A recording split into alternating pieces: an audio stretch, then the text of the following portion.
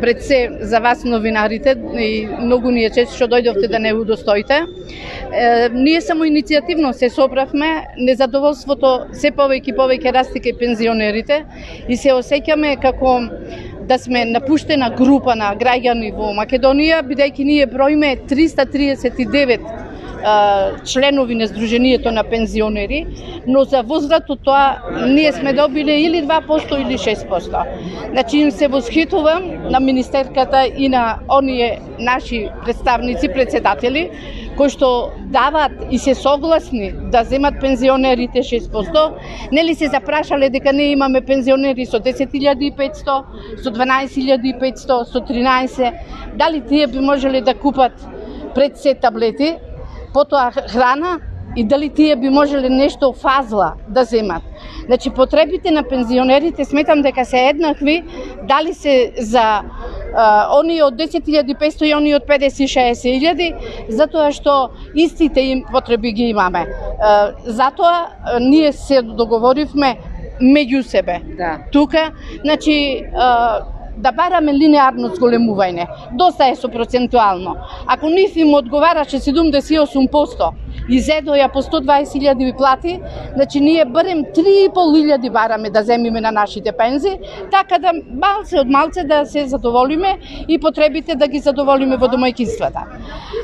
ова не е незадоволство само во Прилеп. Незадоволството расти во цела Македонија.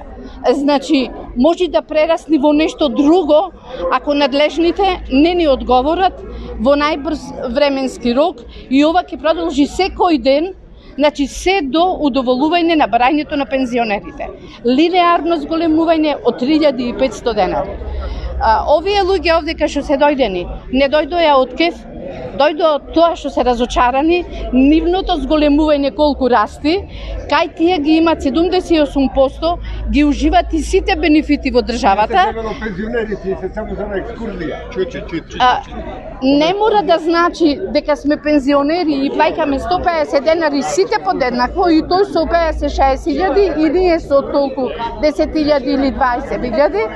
Затоа Ај автобусот ќе дојавате, чој ме не шетај. Затоа, значи, тие ги задоволуваат оние пензионери кои што се плашат да излезат овдека пред вас за да кажат дека не ни е доволно да прошетаме до некој манастир, до некој лектувалиште, до некој бањи, значи не ни треба тоа. Тоа е еднаш во годината, ама јаде не треба секој ден и таблети да се купат треба секој ден најмногу таблетите сега знаете како е здравството, се плаќаме, луѓето како можат да платат. Едно снимање на ехо на срце да се направи 2000 денари.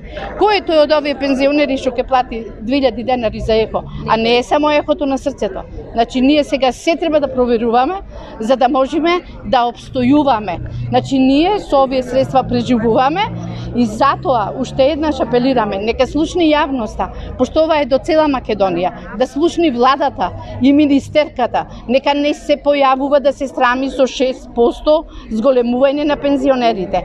Пензионерите не се треторазгледна група, тие се жители на Македонија и тие треба да ги уживаат правата што ги уживаат сите. Значи, уште еднаш замолувам, нека слушнат сите, линеарно зголемување од 3500 денари. Ја поддржувам Вера, а мислам дека ја поддржуваат и сите пензионери така од град Прилеп и од Република Македонија, затоа што во ова денешно време со оваа невидена инфлација, која што секој дневно гледаме дека производите растат се повеќе и повеќе, ние пензионерите сме на маргините на обштеството. Зборувам за ние со минималните пензии. Затоа апелираме до властите, нека го слушнат малце нашиот глас. Не се тука само лековите, тука се и белешките кои што треба да ги платиме. Затоа што за една неплатена белешка сите знаеме како ни се исклучува и струја и вода. Каде е храната? Каде се хигиенските потреби? И ние сме луѓе на кои што ни е потребно се. Затоа ги замолувам властите во Скопје, министерката и сите надлежни малце да го слушнат гласот на пензионерите Со овие минимални, не сакам да речам, страмни пари што ги земаме, не се преживува. Емисијата Survivor сите сме сведоци едно време ја гледавме. Ние дојдовме сега токму пензионерите на тој Севајвер. Затоа бараме што побрзо да се решат нашите барења, ако не продолжуваме секојдневно. Отилесно е да земиш 80.000 и 100.000, а лебот е 35 денари и за нив и за нас. Јас сум работила 40 години, земам 13.000 пензија. Јас живеем сама. И со тие 13.000 денари, јас не сакам да преживувам, јас сакам да живеам и јас сакам да си излезам, да си прошетам, да му купам на внучина, на театар да си појдам, в кино да си појдам. Му предлагам на господинот премиер со мојата пензија од 13.000 денари да проба да биде феномен, да живее еден месец, да си ги плати сметките, да си купи лекарства ако му треба, да си појди да си прошета, Друго јас не знам што да ви кажам, со 13.000 денари значи не можеш три дена да поминеш во месецот. Држава кажува усогласување на животни трошоци. Животни трошоци, таму пресметуваа горе животни трошоци, а овдека ни даваа проценти. Јас сум дипломиран економиста кој работе во текстил и отидов со мала плата, со мала пензија. Нема проблеми за тоа што сум пошол со мала пензија, овај, овај плаќа повеќе, за затоа поголема пензија. И тие со сега со поголеми пензии што се бара процентуално.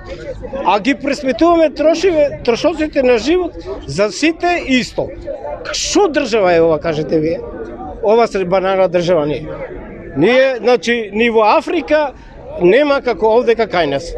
Оние што на 70-80% си крева плати, нас ни дава 6%. Што е ова, кажете, лебо? Ама лебо и за мене и за нив и за сите исти, бензино е исти, а кажува она што работа, игра фудбал по, по канцелари таму, ние трчаме, онадем бе, женава кажуваше, таа работеше кај мене. А, за илјада работници сум барал работа сум онаде, сум пошол, со 6900 пензија. И во пензиско кај нас а, манипулира со пензиите. Јас дипломиран економиста, отидов 2012 во пензија со 6900 денари пензија, а чистачката кај мене истиот месец исто она со 8000 пензија. Значи и таму пријатели барале за пензиве да се покачува. Ова не е правилно. Ова држава треба да се запали еднаш и да не постоиме веќе. Нема друго што.